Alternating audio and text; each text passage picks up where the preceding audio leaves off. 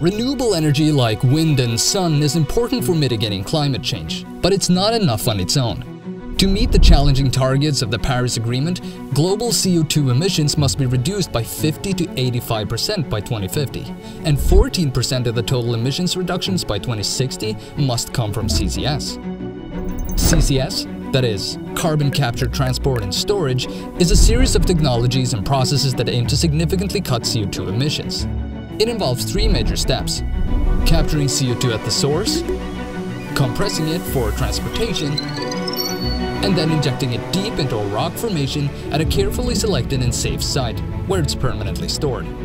It's a proven technology and has been in safe commercial operation for over 45 years, but if we are to reach net zero targets, we need to scale up CCS capacity by more than 100 times in the next 30 years. This is a huge challenge, a challenge too big for any one country, company or research institute to tackle on their own. This is where the European Energy Research Alliance's joint program on CCS comes in.